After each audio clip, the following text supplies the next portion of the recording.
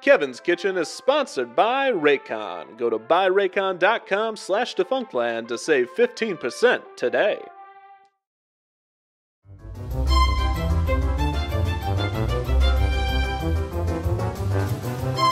What's better than the smell of delicious food on a warm summer day?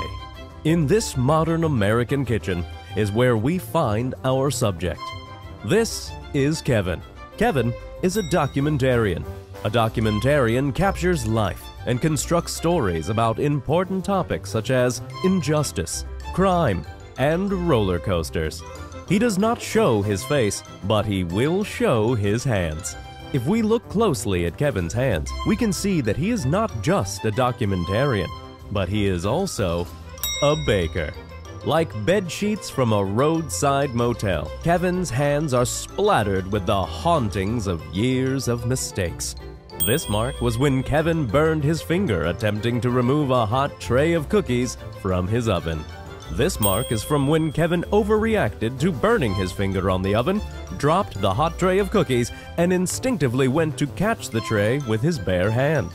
Needless to say, Kevin has years of experience in the kitchen, and today, for the first time, he will combine his passions and embark on a historical culinary adventure.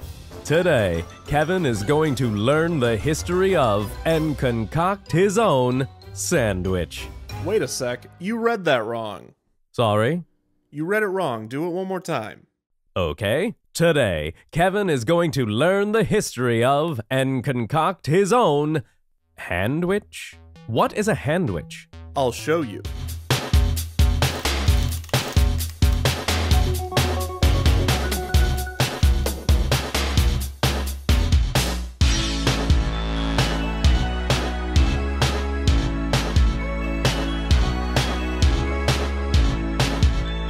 Around 1986, a new food item debuted in Walt Disney World, named the Handwich. The Handwich was shaped like an ice cream cone, but instead of a waffle cone, it featured a cone shaped sub roll, and instead of ice cream, it had fillings. These included such delicacies as ham and cheese, pulled barbecue chicken, roast beef and cheddar, and even tuna salad. The Handwich was billed as the sandwich of the future. Because of this, the Handwich was sold at Epcot's The Land Pavilion's Farmers Market food court, as well as the Space Bar in Tomorrowland. It was also served in Adventureland at some point. Wherever it was, it was billed as Disney's newest attraction, implying that you can ride the Handwich, when in reality, the Handwich rides you.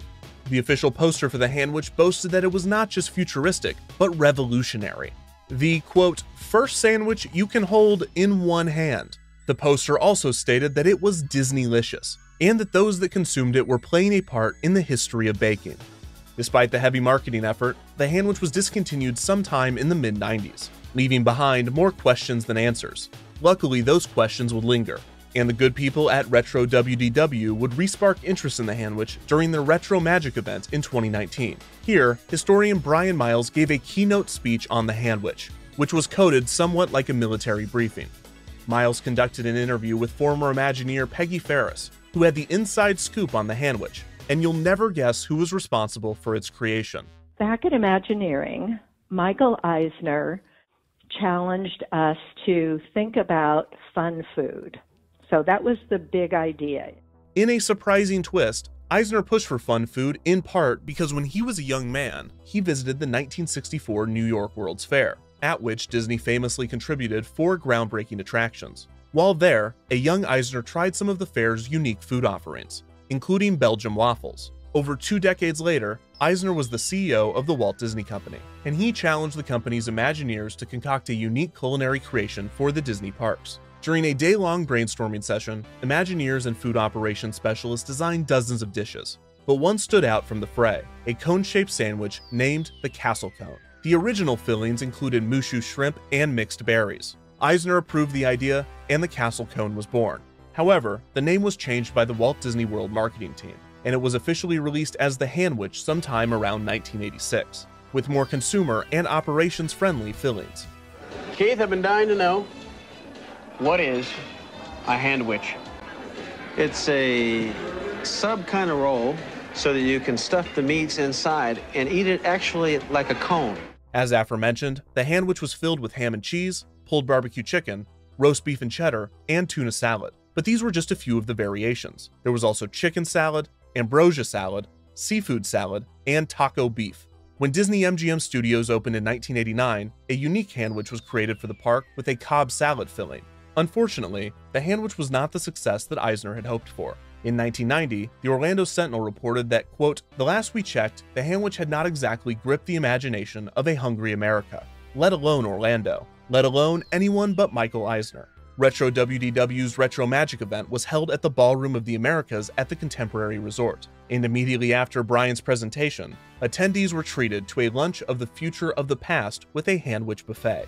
This would not be the only reappearance of the handwich after its discontinuation in the mid 90s. In 2012, Cars Land opened at Disney California Adventure theme park, and the Cozy Cone Motel quick service spot served handwich style bread cones, although they were not officially handwiches. Flavors included chicken verde and chili cone queso, and for breakfast, bacon scramble. In 2013, Disney's Hollywood Studios Min and Bill's Dockside Diner quick service stand served their own sandwich cones, but these were quickly discontinued. In 2014, another sandwich cone could be found, again at Disney's Hollywood Studios. This time, fillings included a macaroni and cheese with bacon topping cone and a Fiesta chili cheese cone. In 2017, during Epcot's 35th anniversary celebration, a retro handwich was created, this time with a new mac and cheese with cheeseburger filling. While distinct from the original handwich, this was the most intentional of the handwich revivals, explicitly referencing the dish's predecessor. All of this is to say, the handwich is replicable, which means Kevin, wait! You're not really going to recreate one of the handwiches, are you? No, announcer man. I'm going to recreate three of the handwiches. Three handwiches? That is a journey from which you cannot return unsuccessful. Come up just one handwich short, and you will be lost to time, just like the handwich itself. Are you sure about this? It'll be fine. Now let's make some handwiches. Mouth-watering meals, delectable dishes, tasty treats. No matter how scrumptious, they, like everything, will be lost to time. But unlike most of us, some will be remembered. And unlike all of us, some will be resurrected. This is Defunct Pan, with the dishes of the past return to the plate. And now, your host, Kevin Perjurer, will show us how to create an old fashioned handwich. It's true. The sandwich of the future of the past is of the present once again, because today we will be creating an old fashioned barbecue chicken handwich. Let's start with our delicious slow cooked barbecue chicken. First, we make our sauce with a tablespoon of apple cider vinegar, followed by a tablespoon of Worcestershire sauce, a fourth cup of brown sugar, and a tablespoon of olive oil. I have peeled and grated an onion, and we are going to put both the onion and the juice into our bowl. Finally, let's add 2 cups of barbecue sauce. The only barbecue sauce you will ever need, and the best barbecue sauce in the world, is Joe's Kansas City barbecue sauce. I'm going to add the whole bottle to our bowl, and now we mix. Next, we place 3 pounds of chicken breast into our slow cooker. After we wash our hands, we season. This quick spice mix that I created contains salt, pepper, paprika, cayenne pepper, and garlic powder. We can now pour our sauce over our seasoned chicken, and once again we mix. Let's place the lid on our slow cooker and cook on low heat for 7 hours or high heat for 4 hours. About 2 hours before our chicken is done cooking, we can begin making our handwich cones. Start by warming up a cup of milk in the microwave until warm, but not hot. We can then add a teaspoon of sugar, then 7 ounces of active dry yeast, and yet again, we mix. We're going to allow our yeast to activate to the side for around 5 to 10 minutes. In the meantime, we will create our flour mixture. In this bowl, we have 4 cups of all purpose flour, and we are going to add in 3 tablespoons of castor sugar and 2 teaspoons of salt, and then we mix. We're going to make a well in the center of our mixture. Inside, we will place 2 eggs and our activated yeast mixture. We can now take a hand mixer and we mix with a dough hook. After these are combined, we take a fourth cup of soft or slightly melted butter and add it to our dough. We now mix for around 6 to 7 minutes. We now place our somewhat sticky dough onto a floured surface to form it into a ball. Once we have done this, we can place it into a greased bowl, cover it completely, and allow it to sit in a slightly warm spot for one hour to rise. While that is rising, we can create our cone molds. We will be using printer paper and tinfoil to create these. These will be going in the oven, but do not worry, the paper will not catch fire. There's actually a great book about this which states the auto ignition point of paper right in its title. It is called 1984. We will only be baking at 400 degrees, so we are well under this mark. First, we take two pieces of printer paper and we lay them landscape in front of us. We take the bottom left corner and create a small fold in like this. That right there is about right. We can now use this fold to roll our cone, making sure to keep the point at the bottom as tight as possible. We continue to hold that together as we place a piece of tinfoil on our workspace. Start at one of the corners and wrap your cone in the tinfoil. Do not worry about this excess, because we are going to just fold that into the top of our cone. And there you have it. We will have enough dough for 8 sandwiches, but I will only be baking 2. One for me and one for you. So once we have finished with our cone molds, we can place them to the side. Once our dough has risen, now comes the fun part. We're going to divide our dough into 8 equal pieces and cover again with our plastic to prevent any of them from drying out. One by one, we are going to take one of these pieces and roll it out. We want to end up with a long tube, around 3 feet long. Once we have this, we can take one of our molds and starting from the bottom, spiral our dough up the cone. Now that's looking like a handwich. Once we have done this, we gently press our dough into the cone and pinch the tip. We now place these on a greased baking sheet. As our oven preheats to 400 degrees, we are going to give our handwich cones a light egg wash. Once our cones are prepared, we can place them in our oven for around 12 minutes. While those are cooking, our chicken should be just about done. That smells absolutely delicious. With two forks, we shred the chicken, and as we do this, we mix. We're going to drain only the chicken we will be filling, as we don't want our handwiches to be too soggy. Once we pull our cones out of the oven and allow them to cool, we can remove the mold and admire our work. Now, we take our chicken and fill our handwich cones. And voila! A beautiful barbecue chicken handwich. I must now take a bite.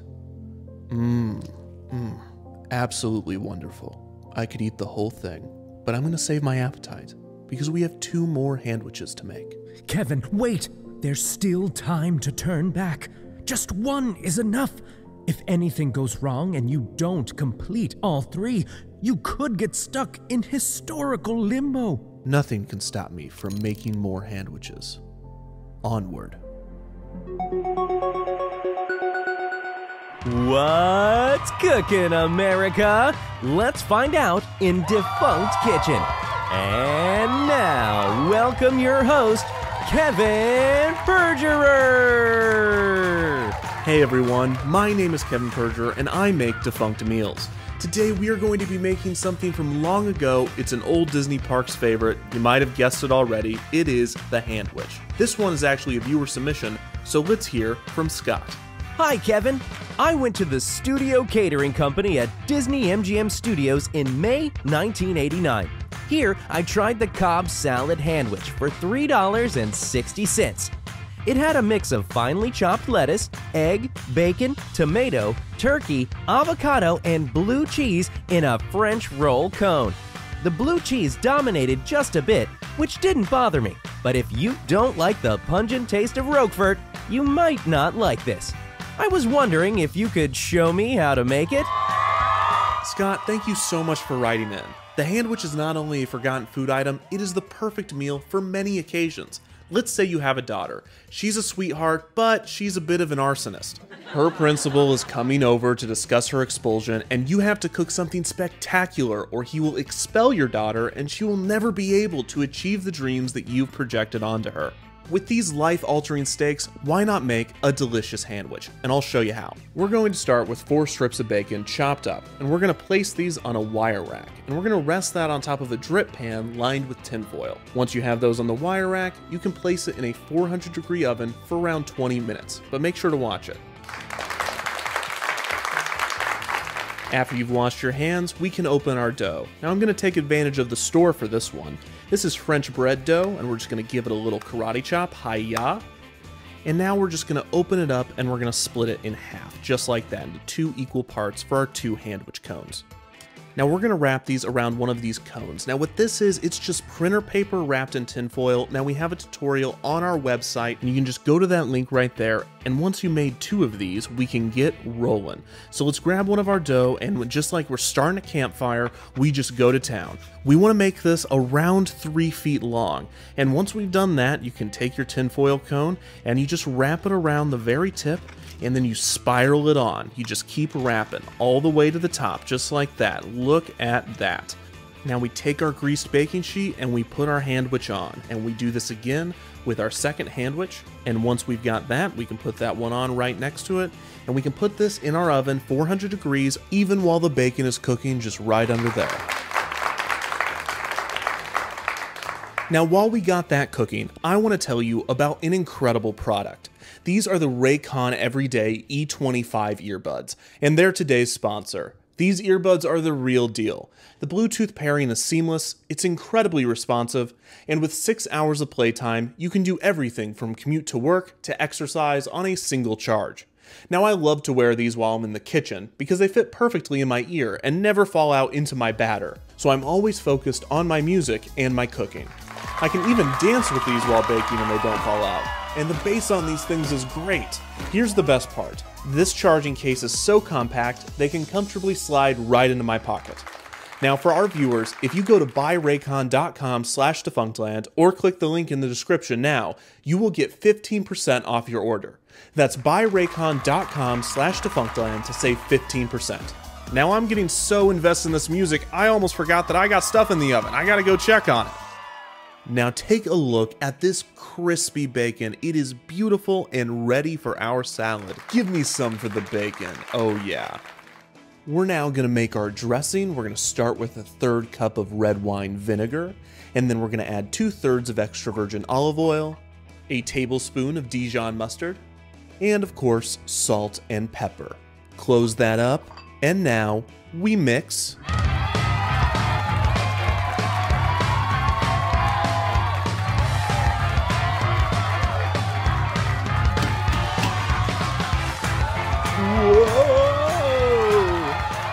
All right, please stop clapping. It freaks me out when I'm using the knife. God, I'm tired. Okay, so we're gonna take our lettuce and put it into a salad spinner, and you will never guess what that does, but I bet you'll clap anyways. All right, let's try to keep it at a mezzo forte. Kevin's got a headache. Let's go ahead and speed run this salad. Bacon, cherry tomatoes, roquefort, egg. Doesn't matter how you slice it, it'll still taste terrible. I'm gonna open up an avocado and take out its pit. Boom, magic, it disappeared. No idea where that went. Slice up some turkey I got from the deli. And don't forget to throw a little piece of turkey over your shoulder for good luck. And we mix. And look what just came out of the oven. One of them's a little messed up, but that doesn't matter. We're gonna keep on trucking. Let's go ahead and add our dressing to our salad and then fill these cones. Now I cannot wait to try this, so I'm not gonna. Let's take a bite. Mmm, that is delicious. That's two beautiful handwich cones, and you know what this pairs great with? Raycon Everyday E25 earbuds. I know that these might have looked complicated, but do not be afraid of these. The handwiches can smell fear, and if they smell it, they will become spicier. And check this out, we did that in under 5 TV minutes, which is roughly 13 hours. I hope you enjoyed today's episode. Now I've got to go make another handwich, or I might be lost to.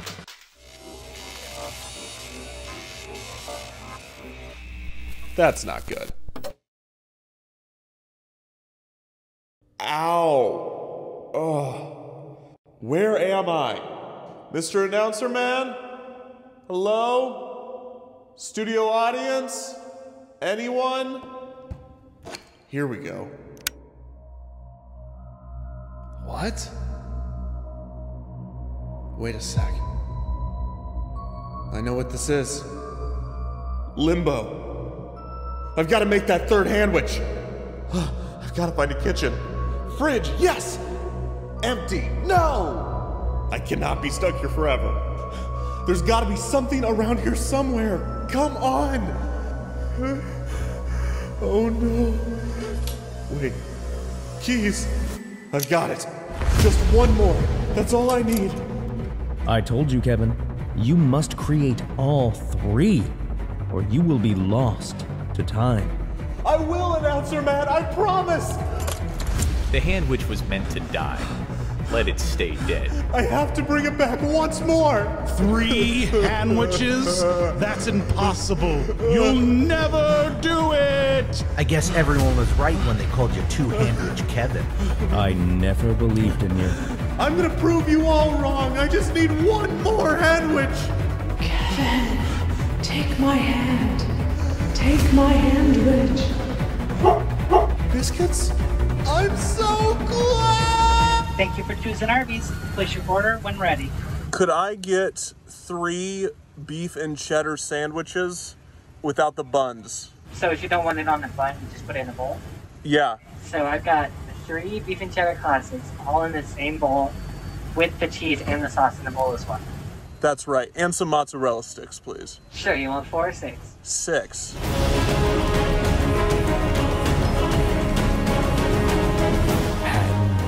Hand. Handwich. Handwich. Handwich. Handwich. What is a handwich? Handwich. What is a hand witch? Handwich. Handwich.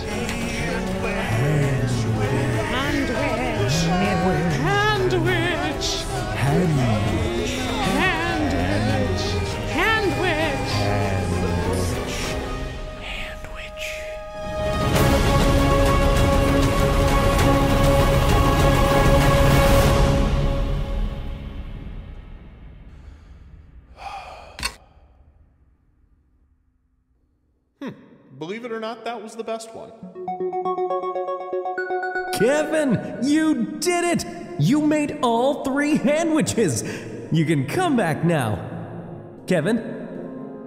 Kevin? Kevin!